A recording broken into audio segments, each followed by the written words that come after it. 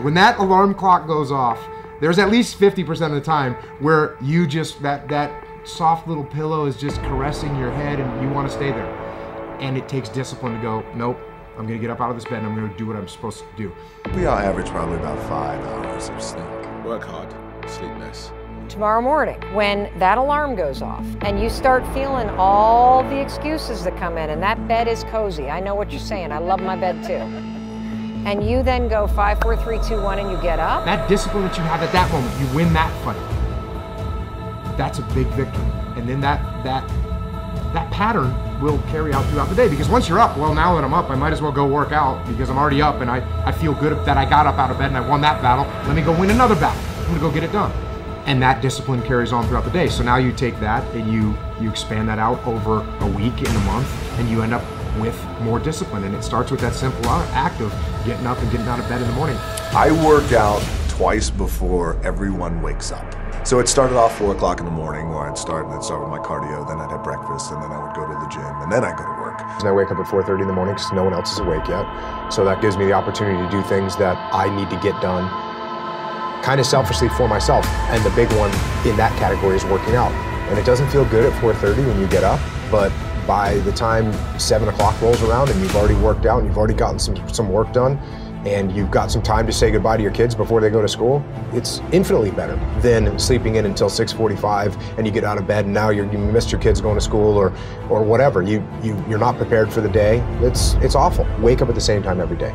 And if you pick that time and you start waking up at the same time every day, that's very good for you. It doesn't have to be 4:30. It could be 6:30. It could be 7. I, I don't know what your personal schedule is. Find out a time, pick it, set it, stick to it. Look, everyone has a problem with time.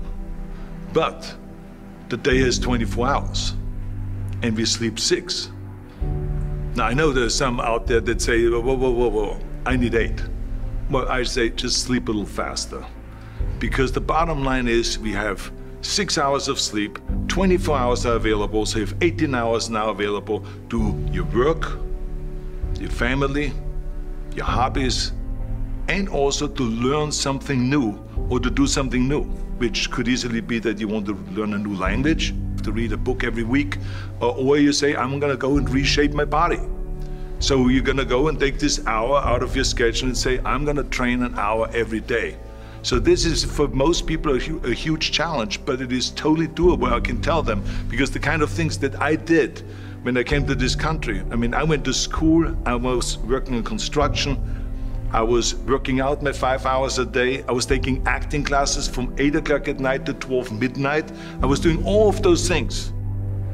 I wanted to make sure that out of the 24 hours of the day, that I don't waste one single hour. Those hours were too precious. And so there I just want to tell people, don't give me this thing, I have a difficult time with the time and I don't have time for this and I don't have that.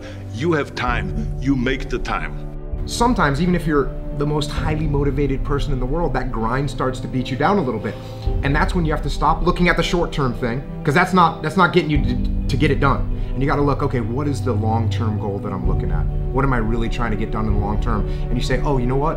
I'm actually waking up today early so I can be ahead of the curve, so I can sell more of these widgets or whatever, so that I can buy a house. And you know what? Today matters today matters. This decision that I'm making right now is that first step. It's me taking one stroke, swimming in the right direction, heading towards the shore. And if I don't take this, I'm not making any progress. I've been struggling, struggling, struggling. We still had all the same problems. I we still had a lien on the house, still facing bankruptcy, still fighting like crazy. I was still unemployed. The next morning, the alarm goes off, and um, I pretended NASA was there.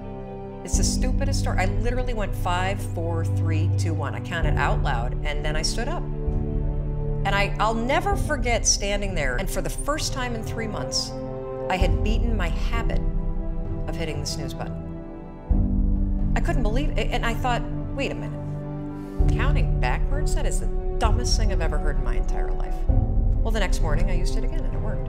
The next morning I used it again and it worked. The next morning I used it again and it worked.